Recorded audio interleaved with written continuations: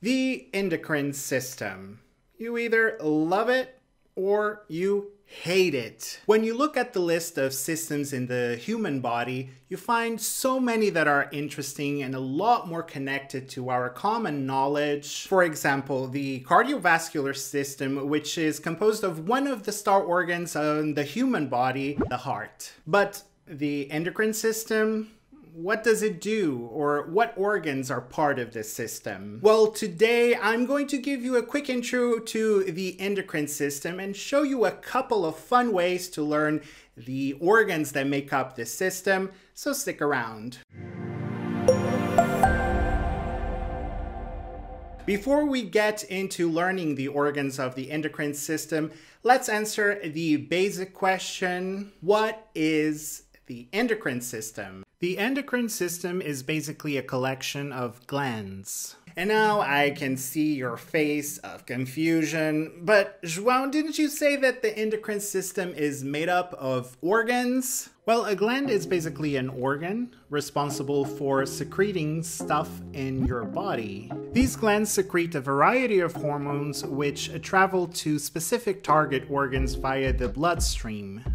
Hormones have specific functions such as regulating growth, metabolism, temperature, and reproductive development. So you can see that without a system like the endocrine system, our bodies would basically be a mess. Like the nervous system, the endocrine system acts as a signaling pathway, even though hormones are slower acting than nerve impulses. Endocrine signals can last from a few hours to a few weeks The main control center for the organs in the endocrine system is the hypothalamus in the brain. When you learn the endocrine system or any other system in the human body, the first thing you should always do is learn what organs are part of that system. Once you know which organs are which, you can start the business of learning exactly what is that they do. So this is where we start answering the question, how can you learn to easily identify the organs of the endocrine system? There are two ways.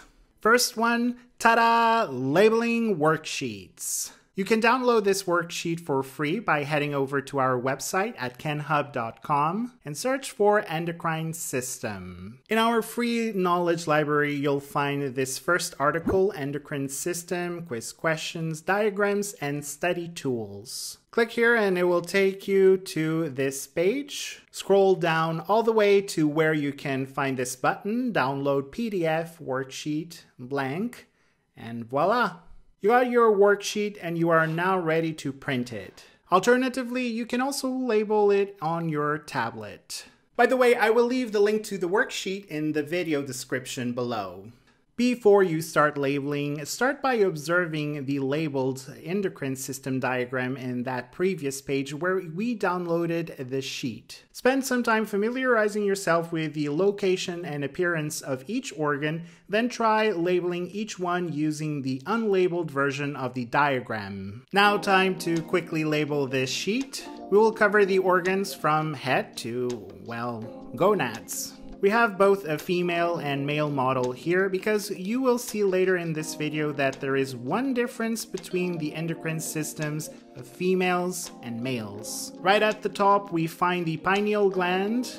This gland is found in the brain, the pineal gland has a more specific function, being involved only in the secretion of the hormone melatonin. This hormone is involved in both sexual development and the sleep-wake cycle. Next up, we have this label here where you can add two important components of the endocrine system, the hypothalamus and the pituitary gland.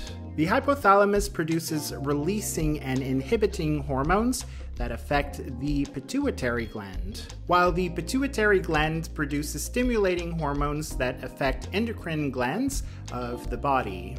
Now moving on to the neck region where we find this structure here that we can label as the thyroid and parathyroid glands. The thyroid gland is important in regulating metabolism, while the parathyroid glands maintain calcium levels in the blood by producing parathyroid hormone.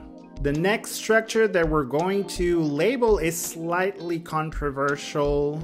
The thymus. Some people consider it to be part of the immune system since it helps the body protect itself from autoimmunity, which happens when the immune system turns against itself. Others say it also plays a role in the endocrine system, since the thymus produces thymosin, which stimulates development of disease-fighting T cells. Next up, we have this organ here, the pancreas. And the pancreas is particularly important in the enteric endocrine system as it releases the hormones insulin and glucagon, which regulate blood sugar levels. And here, just over the kidneys, we find the suprarenal or adrenal glands. They regulate blood pressure, electrolyte balance, and stress response. Finally, we get to the part of the endocrine system where in males we find the testes, which produce testosterone, and females we find the ovaries, which produce estrogen and progesterone. These hormones are involved in regulating sexual development, behavior, and physical characteristics, and also involved in gametogenesis. And that is it. We have completed here our worksheet with all the organs and structures of the endocrine system. Looking good. Remember, in the beginning I said there are two ways to easily learn how to identify the organs of the endocrine system. Well, let's quickly talk about the second way, quizzes.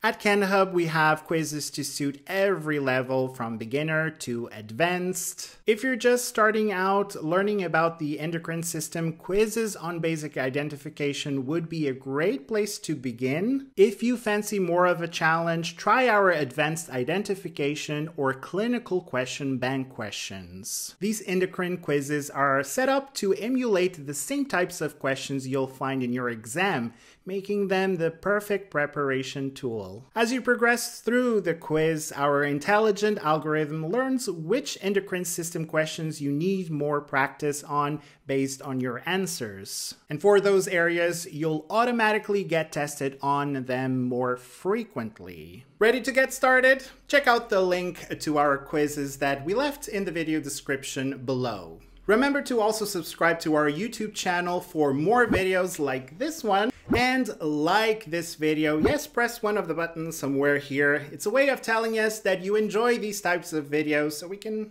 probably make more. Well, until then, I will see you next time. There are fluids. ah, just think I broke my neck. I need to do less neck like this. Can't. Not, not at my age. No, doesn't work.